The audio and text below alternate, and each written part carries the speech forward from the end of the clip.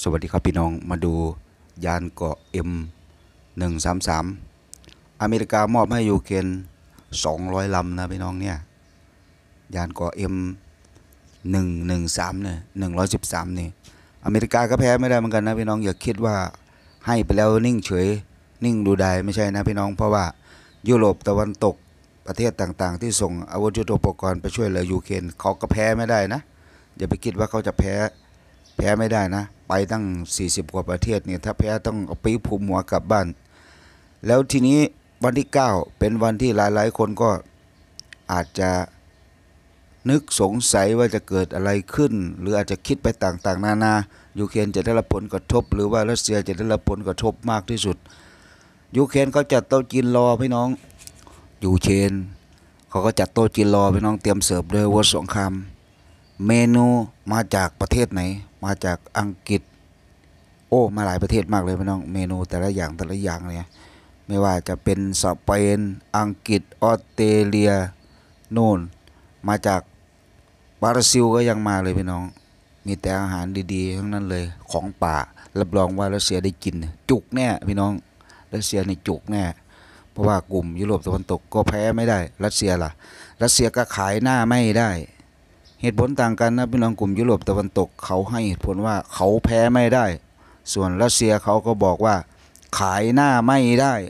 ทำไมจะขายไม่ได้ เพราะว่าไม่มีใครซื้อ ที่ผ่านมารัสเซียก็ขายหน้ามาตลอดนะพี่น้องไม่ว่าจะเป็นรถรุ่นไหนจานเรดาร์หน่วยเรดาร์เรดาร์จับขึ้นความถี่ฝ่ายตรงข้ามก็โดนทำลายนะพี่น้องโดนทำลายนะหลายครั้งหลายหนที่ว่าเรดาร์ของรัสเซียถูกนักรบยูเครน ขึ้นไปเหยียบจมูก พี่น้องเหยียบจมูกเลยแล้วก็ซัดตึมเลย วันที่ยี่สิบเจ็ดที่เชอร์นิคอฟพี่น้องซัดตึมเละไปหนึ่งคันนะพี่น้องยึดได้อีกหนึ่งคันนี่คือสิ่งที่กองทีวีข่าวกองของทีทีวีของยูเครนเขาเสนอนะไอ้ที่เขาไม่ได้เสนอมีอีกเพียบเลยนะพี่น้อง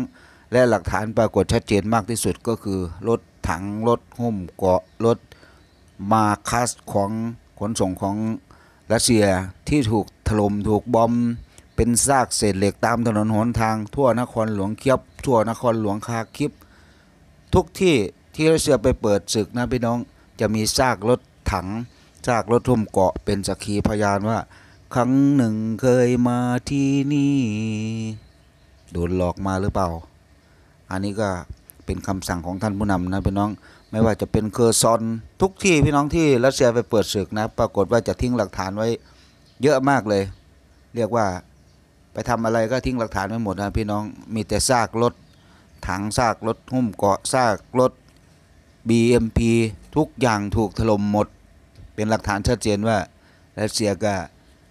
ไม่สามารถต่อกรกับกลุ่มยุโรปตะวันตกได้นะพี่น้อง เริ่มแรกเดิมที พี่น้องถ้าถ้าใครไปสังเกตดูหลังจากวันที่ 6 เขาเข้าวันที่ 24 กุมภา26 24 กุมภาจนมาถึงสิ้นเดือนวันที่ 28 แล้วก็มาเริ่มวันที่ 1 2 3 4 5 6 จนมาถึงวันที่ 10 11เนี่ยพี่น้องปรากฏว่ากองกำลังของรัสเซียขบวนรถถังของเขา ไปได้ไม่ถึงวันละ 5 กิโลเลยนะพี่น้องไปได้ไม่ถึงวันละ 5 กิโลเลยนะเกิดอะไรขึ้นน้ำมันหมดหรือยังไงไม่มี ไม่ใช่น้ำมันหมดหรอกพี่น้อง โดนบอม โดนบอม โดนเจเวลินสตูหน้า สติงเกอร์เขาซัดตึมพอคันที่หนึ่งถูกซัดแล้วคันที่สองไปต่อไม่ได้นะพี่น้อง ถ้าคันที่หนึ่งถูกซัดตึมคนที่นักรบกองหลอนของยูเครนที่อยู่ข้างริมทางอะเขาก็ซัดตึมตึมตึมตึมตึมกระบวนเสียไม่เป็นท่าพี่น้อง เคยเล่าให้พี่น้องฟังว่านักรบยูเครนเนี่ยเขายอมสละสะพานไปน้องระเบิดสะพานทิ้งเลย เห็นมันมาแล้ว ระเบิดสะพานทิ้งเลย นี่แหละคือกลยุทธ์แบบง่ายๆพี่น้องลงทุนไม่มาก ระเบิดสะพานระเบิดสะพานทิ้ง มันก็เสียหายเฉพาะสะพานเราก็สามารถซ่อมแซมใหม่ใช่ไหมนี่เจ้าบ้านเขายอมลงทุนขนาดไหน ระเบิดสะพานทิ้งไม่ให้พวกมึงข้ามมา พวกมึงก็ยังเป็นแขกไม่ได้รับเชิญเข้ามาอีก อันนี้คือด้านในของรถหุ้มเกาะพี่น้อง M113 ที่ อเมริกาเขาส่งมาทั้งหมด 200ลำนะพี่น้อง 200 คันนะ มันเป็นอุปกรณ์เขาเรียกว่าแท็กซี่พี่น้องแท็กซี่สงคราม เพราะว่ารถรุ่นนี้รถรุ่นนี้เวลาจะส่งเสบียง เวลาจะนำคนเจ็บคนป่วยคนได้รับผลกระทบจากสงคราม ไปส่งตรงนั้นไปส่งตรงนี้จะเป็นเสบียงก็ดีอาวุธก็ดีทุกสิ่งทุกอย่างต้องใช้รถบริการของภาษาทหารเขาเรียกว่าเบสเชนเบสเชนแท็กซี่เบสเทนแท็กซี่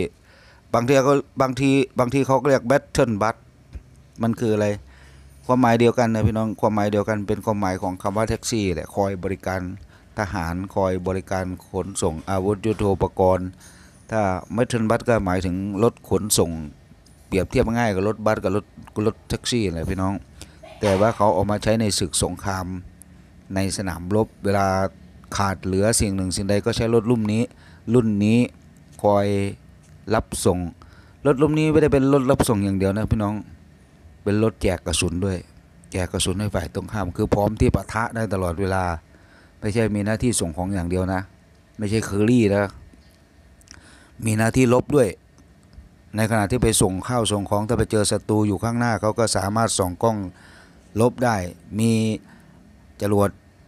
นำวิถีด้วยจรวดที่คอย ส่งให้กับคนที่มาลุกลานนะเขาก็จัดให้ได้เต็มที่เหมือนกันนะพี่น้องอุปกรณ์ป้องกันตัวก็เพียบก็ลองต่อก็ลองดูต่อไปว่าวันที่ 9 คือวันนี้แหละพี่น้องจะสำเร็จโทษใครจะสำเร็จโทษใครยูเครนจะสำเร็จโทษ รัสเซียหรือว่ารัสรัสเซียจะสำเร็จโทษยูเครนก็ต้องดูพี่น้อง การศึกสงครามเนี่ยมันก็ต้องดูนะเสบียงใครเยอะกว่าพี่น้องเสบียงใครเยอะกว่า ยูเครนเนี่ยเสบียงไหลเข้านะ ทั้งอาวุธยุทโธปกรณ์ข้าวปลาอาหารกาแฟกาแฟไหลเข้าตลอด แล้วรัสเซียล่ะ มีไหมแบบนี้ไม่มีนะพี่น้อง มันเท่ากับรัสเซียลบกับหลาย ๆ ประเทศเลยนะพี่น้อง มันเท่าๆกับรัสเซียลบกับหลาย ๆ ประเทศเลยนะ ถ้าเทียบกับยูเครนแล้ว อเมริกายุโรปตะวันตกเขาก็แพ้ไม่ได้ ชั่วโมงนี้เขาแพ้ไม่ได้ยังไง ก็ต้องสั่งสอนให้สั่งสอนให้เต็มที่อะพี่น้อง ถ้าไม่สั่งสอนนะถ้าเกิดมีมนุษย์หน้าใด คนใดคนหนึ่ง มนุษย์หน้าไหนคนใดคนหนึ่ง ไปลอกเลียนแบบอะมันจะยุ่งไหมยุ่งแน่นอนพี่น้อง อเมริกาเขาไม่ชอบนะ พวกที่เป็นเผด็จการนะยึดอำนาจ พวกที่เป็นเผด็จการนะเป็นนายกอยู่นั่นแหละ เป็นนายกอยู่นั่นแหละ อเมริกาเขาไม่ชอบนะระวังตัวให้ดีเขาจะไม่ช่วยเหลืออะไร แล้วก็อเมริกาไม่ชอบเผด็จการไม่ชอบคอมมิวนิสต์พวกนี้ตกแถวไปเลย อเมริกาเขาไม่ต้อนรับหรอก ครับผมสำหรับคลิปนี้ก็เป็นเรื่องราวที่อเมริกาส่งยานเกาะ M113 ไปให้ยูเครนทั้งหมด 200ลำเพื่อต้อนรับจัดโต๊ะจีนต้อนรับรัสเซีย แล้วก็ตามเสิร์ฟด้วยอาวุธสงคราม